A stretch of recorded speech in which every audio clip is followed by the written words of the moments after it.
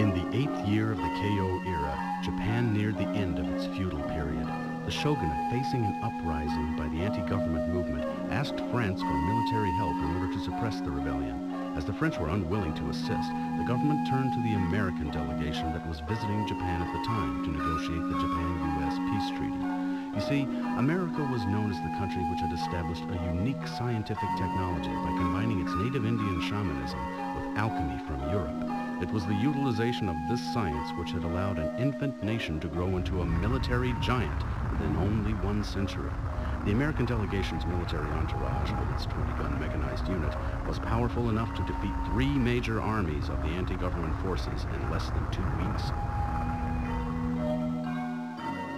As a result of this military intervention, as well as the peace treaty with America, forced upon the shogunate by these circumstances, Japan moved ever closer to becoming America's protectorate.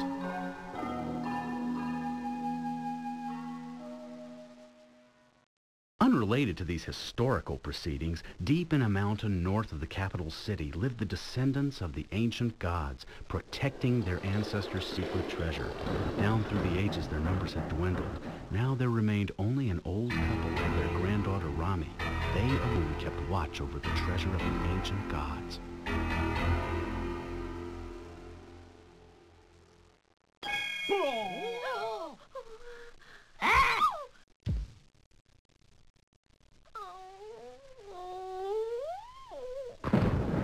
One night, a flying wooden ship appeared suddenly from the sky and attacked.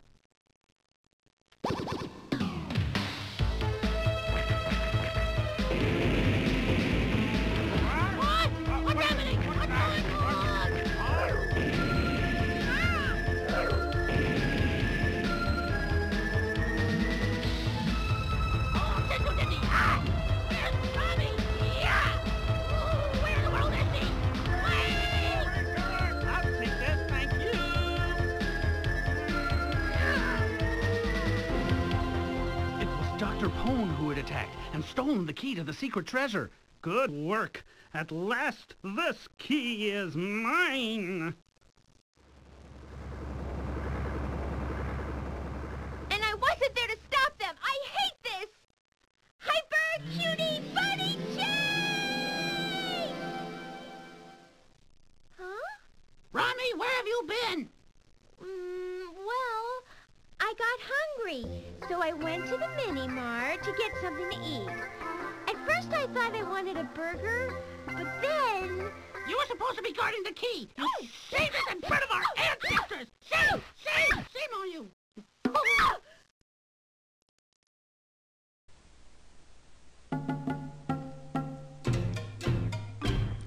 Fasten your seatbelts because we are flying a dragon right into the weird part of Japan. Welcome to Let's Play Keio Flying Squadron for the Sega CD, one of few games of this form to actually see a Western release, and I'm really grateful because even like the voice acting doesn't take itself seriously, and that's pretty fantastic. I'm gonna let the demo play here just so I can show you um, a little bit of the gameplay mechanicery. You fly a dragon, if you don't shoot for a second, more dragons appear.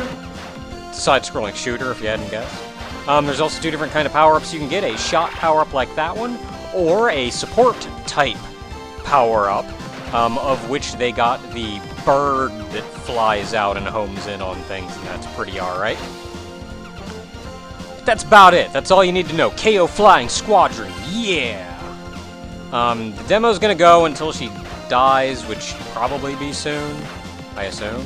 I just don't want to mess up what's to come after the demo. We're uh, getting a bit of a glimpse into the first stage, so we're going to see this more in a second. Here we go.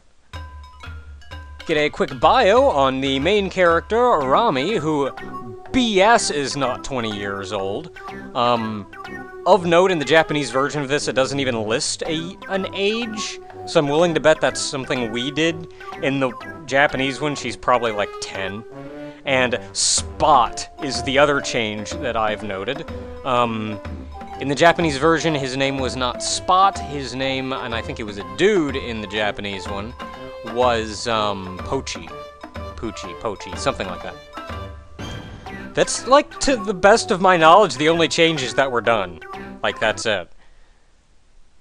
The horse's name is uh, Spot instead of Pochi, and um, we have an age that's way higher than it has any right to be. I'm still sick, if you hadn't guessed. Well, I'm not really sick, but I'm getting better. But I have to record something, so here we are. Um, I'm going to take a quick look at the options. Um, I like that they show you the hitbox and that you can change it. Like, that's kind of cool. Buttons. The buttons. Um, speed, I'm actually going to change slow down to 1. I'll keep fast on 3. I will give myself as many lives as physically possible. I will be using save states because me and shooters do not get along. I don't know what visuals is. I'm going to keep the difficulty on medium simply because I think it'll be better at showing you the, a proper view of the game. Personally, I'd play it on easy. But uh, start that crap up. And what were you doing while they were stealing the key from us? You went to get a snack, you fool! Ow! You don't have to get so upset about a dinky key. You don't understand anything. It was Dr. Poon who stole it from us. A super intelligent raccoon. His IQ is 1400. Can you even guess how important that key is? Well, what is the key for? It's for the secret treasure. Then what is the secret treasure, Grandma? Don't ask so many questions. The only thing I remember is uh, it's called Ark. Ark? I wonder what it is. Dr. Poon wants to use the Ark to turn this planet into a raccoon world. Hey, why not? Sounds like fun. What a fool you are! It was totally your fault. You know that. You really should. Mm, I guess you'll never learn. Well, listen, Rami. Until you get that key back, you will get no food. Wait! That's right. No key, no dinner. You'd better hurry and chase them down. I hate this. Hey, Spot, we gotta go. Spot? Are you still sleeping? Wake up!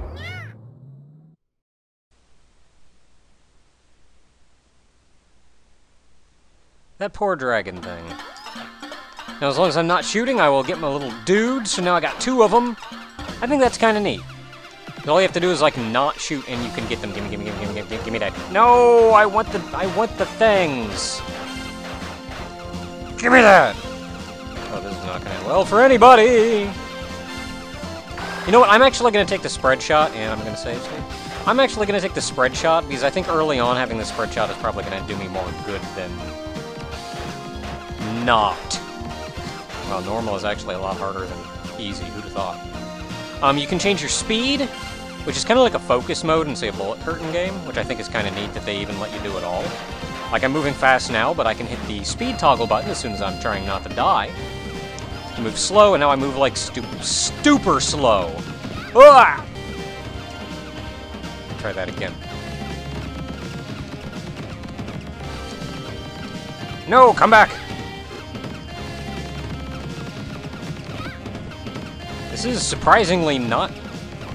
This is surprisingly not easy.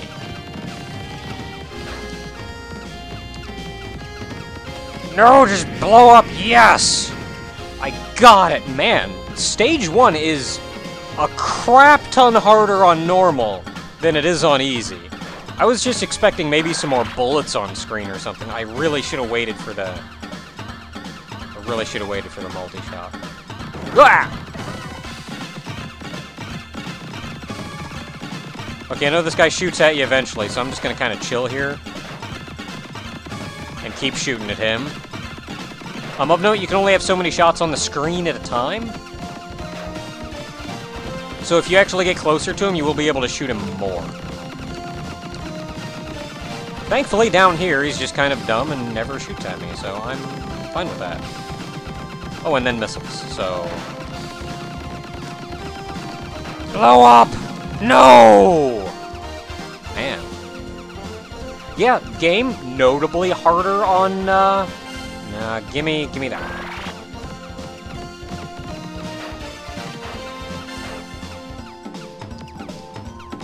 It'd be... I... What the crap? I know your um, shots do get stronger the more of that power-up you collect. Jeez, man. So many guys. If you get overwhelmed, you also do have a bomb, which will use up your little dudes. So that's kind of a neat thing to have and be able to do. Gimme, gimme, gimme, gimme. No. Gimme that one, yes. I think that one powers up two times.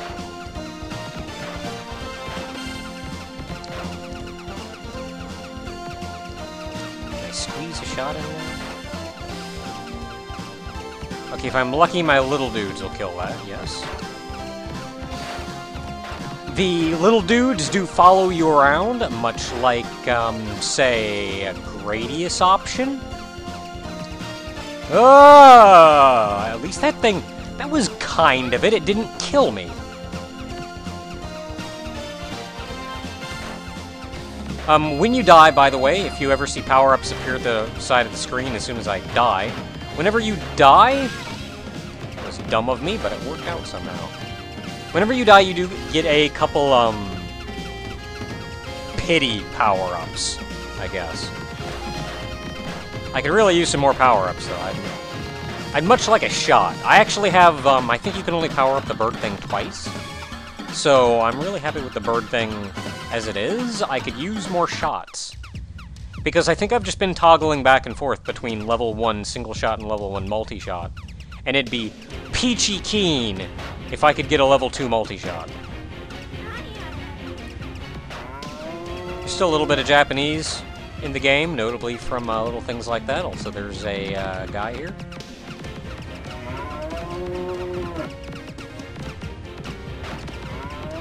I don't think I'm gonna be getting any any shots.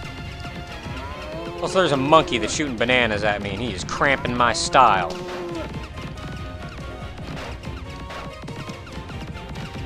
Can I just take out that monkey?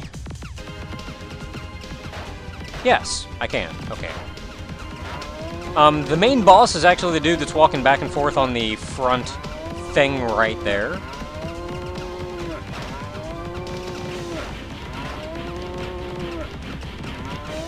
If I had a level 2 multi-shot, one of my shots goes forward. Like, right now, I'm actually a little peeved because my multi-shot is aiming up and down and not forward, so I have to rely on my little dudes. If I were better at these games, I could probably get my two little dudes to shoot him, whereas I, like, moved up a little bit to get my multi-shot to hit him as well, and then we'd, like, all be hitting him, and that'd be super cool. But, uh, I'm not good at these games, so instead I'm just gonna do that.